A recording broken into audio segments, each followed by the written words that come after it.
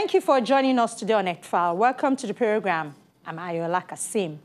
The global economy increased almost fivefold in the past 50 years, but that growth was at a massive cost to the environment. Nature's resources still do not figure in countries' calculations of wealth. The current system is weighted towards destruction as per se, not preservation. The bottom line, the United Nations says, is that we need to transform how we view and value nature, and we must reflect nature's true value in all our policies, plans, and economic systems. Well, with this work, we'll find out today on EarthFile. Do stay with us. Bees are increasingly under threat from human activities, and yet pollination is a fundamental process for the survival of the world's ecosystems. Nearly 90% of the world's wild flowering plant species depend wholly or partially on animal pollination, along with more than 75% of the world's food crops and 35% of global agricultural land. Pollinators both contribute directly to food security and play a crucial role in conserving biodiversity. The goal is to strengthen measures aimed at protecting bees and other pollinators, which would significantly contribute to solving problems related to the global food supply and eliminate hunger in developing countries. Pollination by bees provides us with food products which we consume. Economists concerned with the state of the environment suggest that it needs to be protected in the long term in order for our economies to survive, but more importantly, to secure the well-being of future generations. Services that bees and indeed nature provide is what economists say must be accounted for, and they advocate for natural capital accounting. Natural capital accounting is a process of measuring the economic value of nature's essential ecosystem services on which all human life depends. Examples include the food we eat, the water we drink, plant materials for fuel, medicines, and building materials. It also includes less visible ecosystem services, which has been referred to as intangibles, such as natural flood defenses, air filtration from forests, carbon storage from peat bogs, pollination of crops by bees, and habitats for wildlife. What we're talking about here is assigning a value to the services that nature provides to us, the ecosystem services. For example, a healthy forest that helps us to purify water, managing the whole hydrological cycle. All of us benefit from that service, although none of us may own the forest. And that is, I think, one of the key points, is that throughout the, the last 80 years, we have come, become accustomed to a system where we only measure something if there is a market price, and there can only be a market price if somebody owns something and can sell it to somebody else who wants to purchase it. But we are not talking here about assigning a market price to nature so that it can be bought and sold. That is far from what we are considering here. What we want to do is assign a value to it a value that reflects the benefits that we draw from nature, so that when we conduct ourselves, we do economic activities, we take into account whether those activities have a positive or a negative effect on those benefits that we draw from nature. Nature and the ecological services it provides are free. We don't pay for fresh air, water, soil, or even the oil, gas, and other minerals below ground. What we pay for is the extraction, processing, production, and distribution of food, fuel, and materials the ecological services provide. Not forgetting the profit of those who exploit those services on our behalf. We also pay for pollution and waste and other inefficiencies that our own systems and services generate. Experts say what is amazing about nature is that if left to its own devices, those free ecological services are also renewable. Unless we use them up faster than nature can replace them, which is what is happening now. According to Global Footprint Network, humanity is currently using nature 1.7 times faster than ecosystems can regenerate. we're assigning a value to it as if it were if it were something to be exchanged, we would be thinking about what the value would be. But I want to stress here beyond any doubt, there is absolutely no intent here to start making a market of nature. What we want is for us to be able, on the same basis of comparison, to see that when we do certain things for legitimate economic reasons, we, we may be having an effect on nature that is not as strongly positive as the economic effect of that activity. And if we can take that into account, then we realize that what looked to be an optimal economic activity before actually is way suboptimal because it's generating all these losses of benefits and costs that we will have to confront sometime in the future at much greater cost than if we prevent the losses and damage from happening now. We now will understand the scope of the damage we're doing, and we can act in a considered and rational way to reduce that damage. That is the point behind this. I warmly welcome you all to the first informal virtual meeting of the 52nd session of the Statistical Commission.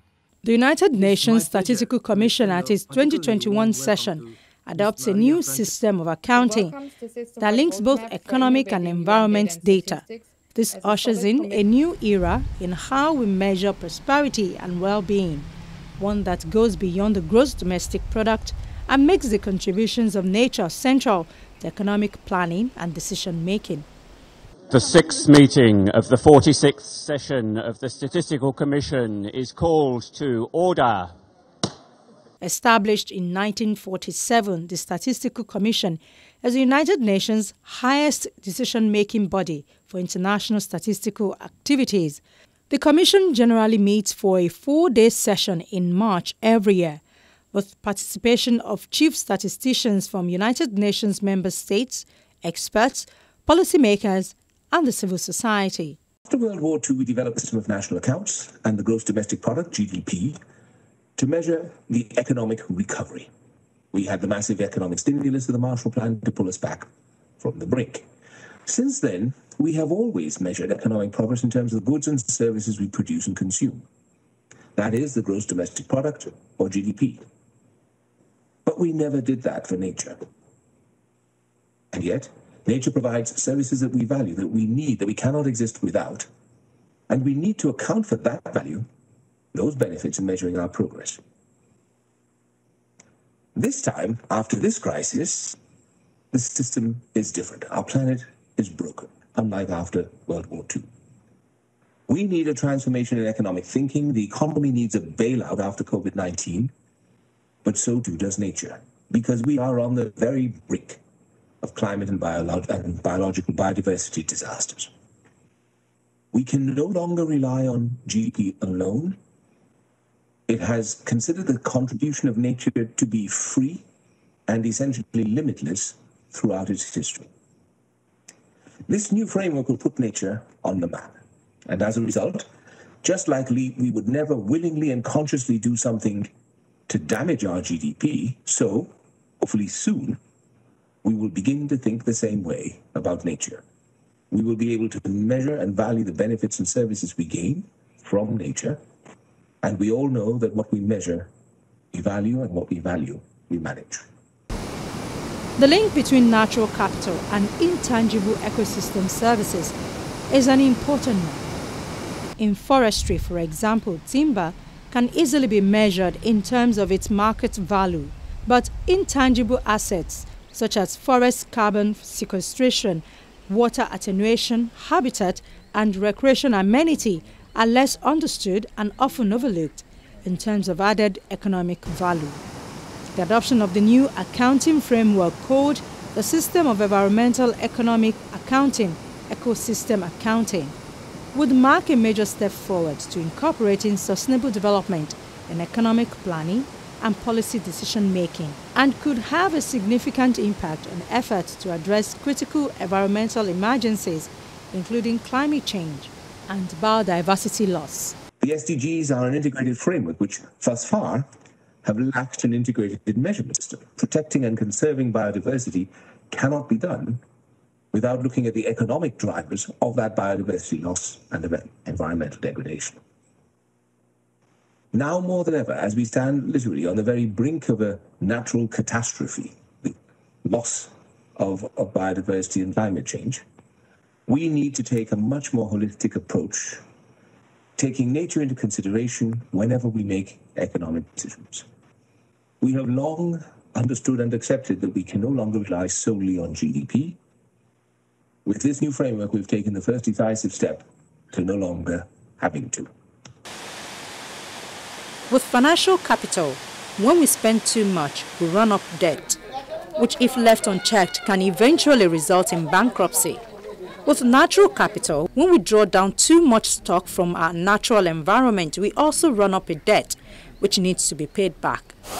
For example, by replanting clear-cut forests or allowing aquifers to replenish themselves after we have abstracted water. If we keep drawing down stocks of natural capital without allowing or encouraging nature to recover, we run the risk of local, regional, or even global ecosystem collapse. Poorly managed natural capital therefore becomes not only an ecological liability, but a social and economic liability too. Working against nature by overexploiting natural capital can be catastrophic, not just in terms of biodiversity loss, but also catastrophic for humans as ecosystem productivity and resilience decline over time and some regions become more prone to extreme events such as floods and droughts. Ultimately, this makes it more difficult for human communities to sustain themselves, particularly in already stressed ecosystems, potentially leading to starvation, conflict over resource scarcity, and displacement of populations. We don't have the consciousness that by doing that, in, in the long run, we lead to protecting our lives. We don't relate environment to protection of life. Of course, the Sierra Leone knows better now. Okay?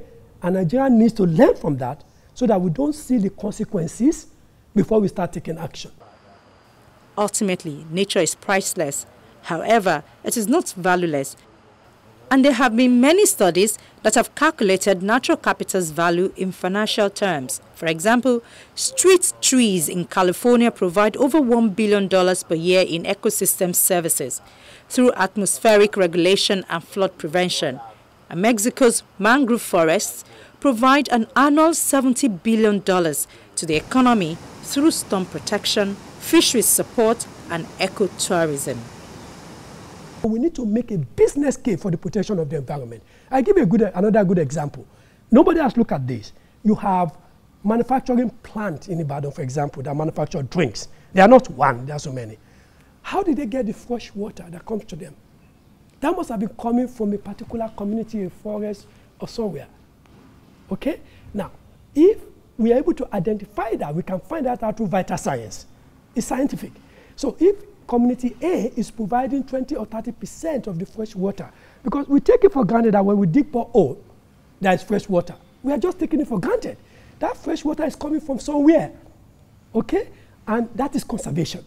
So if we get a community to say, okay, you need to protect the source of your fresh water, and if you just add like half a kobo on your drinks that goes to that community to preserve conservation, they will protect the environment with their life in exchange. Because the point is that if that water ceases, if the, if, if the natural environment is you know, kind of destroyed, they will find alternative way of get, getting water, and that will be costly. The business case being put to the private sector is that it is in their interests to use their natural capital assets sustainably in the short term as a way to guarantee long-term profits. By depleting natural capital now, they put their supply chains and future productivity at risk. The ecosystem service value of tropical forests is estimated at $6,120 per hectare per year, while the cost of losing forests at the current pace amounts to $2.5 trillion per year if all ecosystem services were accounted for. Despite this clear macroeconomic case, the total yearly forest loss averages about 30 million hectares per year, representing the surface of one football field of forest being destroyed every three seconds. This continued loss and degradation of forests represents a massive market and policy failure. The first United Kingdom National Ecosystem Assessment, published in 2011, showed, for example, that is 6,600 million pounds, which United Kingdom farmers generate each year, could not be produced without the help of ecosystem services such as water purification and regulation and soil fertility processes. The total value of pollination services alone is estimated at 430 million pounds a year. The report concluded that ecosystems and ecosystem services and the ways people benefit from them are consistently undervalued in conventional economic analysis and decision making. In a follow up report published in 2014, the National Ecosystem Assessment focused on how ecosystem services derived from natural capital support the economic performance of the nation. Natural capital accounting, the report concludes, is a fundamental activity that needs to be mainstreamed in economic decision making. A report also commissioned by the United Kingdom Treasury found that countries currently spend $4 trillion to $6 trillion a year on subsidies that damage nature, often unaware of the long term loss of natural assets. It found that the global capital produced per person had doubled in the past three decades, while the stock of natural capital or services provided by nature to each individual has dropped by 40%. In other words, people are becoming more productive only by significantly depleting our environment. The system of environmental and economic accounts, the ecosystem accounting framework, which is what we're talking about here today, has seen statisticians building on the expertise and experience of many communities in developing the framework, which can be used to complement GDP and to go beyond it. The SEEA ecosystem accounting is coherent with the system of national accounts. It accounts for and it assesses the value of the services that are provided by ecosystems, services which are essential for our well being as humans. Nature and the contribution of these ecosystems to our prosperity and well being will finally be reflected in our balance sheets. As an example, if we cut down thousands of hectares of forest for wood, our GDP will go up through the sale of the timber, the services that the timber provide. But we know that that's not the whole story. We will be losing all of the ecosystem services that that forest would be providing.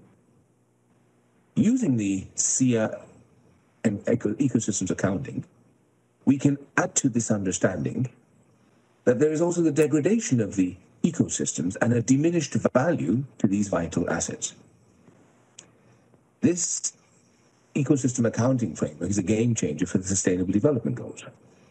If managed well, natural capital is a long term asset. It does not depreciate and can represent a cost effective way of achieving multiple development goals, such as food and water security, climate change mitigation, and adaptation. If you cannot put a number on the natural resources on which your economy depends. Surely, how can you monitor it? If you cannot monitor it, how can you add value? If you cannot add value, how can you ensure, how can you link it to sustainability? Meaning, you are going to keep this stock for the benefit of the present generation to the future generations. If you don't have the number, that question cannot be answered. There is no way you can add value on something whose value you don't even know right from the beginning. Absolutely. There is no choice. We have to do something. The recurring question is why should this be critically important to all of us? The reality is that understanding overall stocks of natural capital and monitoring stock changes is vital at a national level.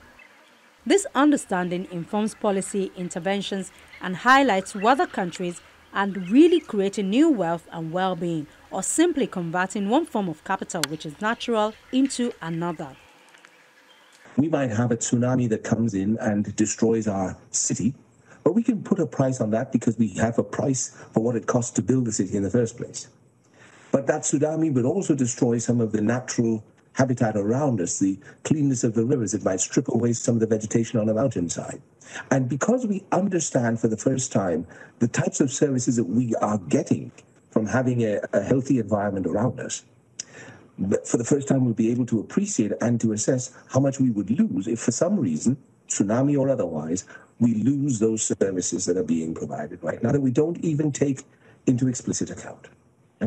Now, that is not to say that there's a price tag that we're assessing to it, but we will be able to understand what types of services are being lost, and we will be able to put a value to that so that when we look at what our overall uh, product is in our society, we can see that as a result of this natural um, catastrophe, we are less well off today than we were before the catastrophe, and the basis for our future prosperity has also been damaged.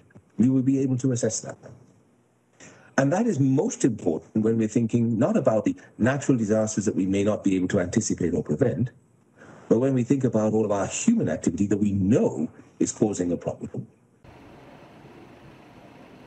Africa alone could save as much as $103 billion every year by harnessing its natural capital in a sustainable way. Money that could then be pumped back into alleviating poverty, providing access to clean energy, and improving education and health. A significant share of these precious resources is lost through illegal activities. In addition, sub-Saharan Africa currently spends $35 billion every year on food imports, a vast amount when you consider that only 3.5 million hectares out of a possible 240 million hectares of land suitable for wetland rice cultivation have been exploited. For instance, Africa loses an estimated $195 billion annually of its natural capital through illicit financial flows, illegal logging, illegal trade in wildlife, unregulated fishing, illegal mining, environmental degradation and loss. These activities continue to happen in the continent despite the efforts taken to address them. What will happen when it is adopted is that we will have an agreed framework around which countries will make their changes in the way the data that they compile and collect and the information that they integrate into the system of national accounts. It will allow us, as I say, to bring in for the first time a, a valuation of nature and make that a part of the calculation of the change in value that we measure through GDP. Because GDP is a flow concept, it's about the goods and services that we produce and consume in a given period of time.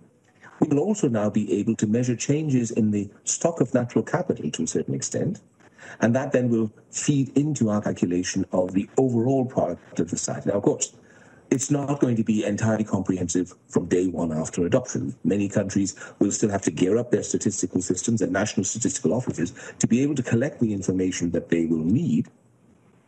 But with the adoption of this framework, we will know what information has to be collected in order to calculate the values, and we will know how those values will be brought into the system of national accounts. It also allows uh, countries, especially in the developing world, to understand where the gaps might be in their statistical apparatus so they know what they have to improve or strengthen in order to be able to collect the information that they need to do this kind of accounting. So, yes, it'll be a transition period, but what it will establish is that standard, that baseline, from which all countries then, with a, similar, a similar and, and, and not a similar, a single methodology, will be able to move ahead and come to valuations that can be compared across countries and over time. And that's, I think, a really, it's so important that it will actually change the way we think about the basis of our future prosperity. Companies and countries have been told to shift their financial decision making toward preservation. The report recommends, for example, that countries be paid to save forests and oceans, while companies that overfish in non territorial oceans should be charged for their exploitation.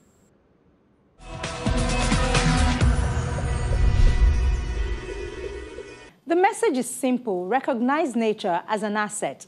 Let's have a transformational change in the way we think, act, and measure economic success to nature by protecting and enhancing the prosperity of natural world while recognizing the role it plays in the world of economics.